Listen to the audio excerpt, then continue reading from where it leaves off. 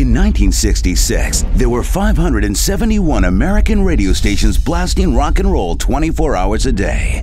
But in the country that gave you the Beatles and the Rolling Stones, the only way to hear the music was to tune in to a boat.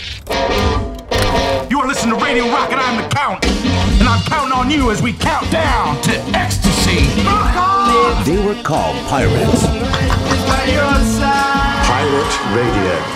A sewer of dirty low morals. Could I introduce Carl? Hi, I'm Angus. I'm the Count. I'm a lesbian. You know what a lesbian is? I do. Fun times, eh?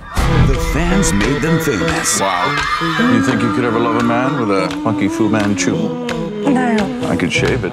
The government made them outlaw. The drug takers and the lawbreakers and the bottom bashing agitators. I will soon be the first person to curse on rock and roll radio. But they risked it all You can't do this. Why not? We're pirates. That's why we're sitting out here in the middle of the friggin' ocean. for the music they love.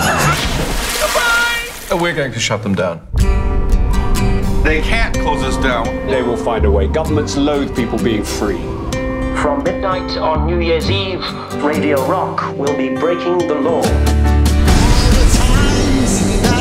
From Richard Curtis, Tonight, Pirate Radio dies. Creator of Four Weddings and a Funeral, This isn't going to happen. They will come after us. Let them try. and Love Actually. We thought we'd never die, but you can't fight City Hall. Three, two, one.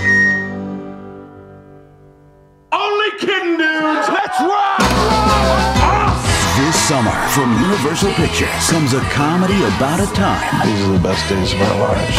when love couldn't be silenced The first moment I saw you, I fell in love with you. and music could change the world.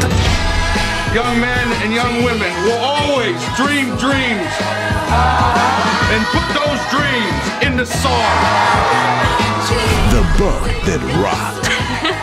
I can see why you wanted that condom. What? No no. What did he just say? Night night.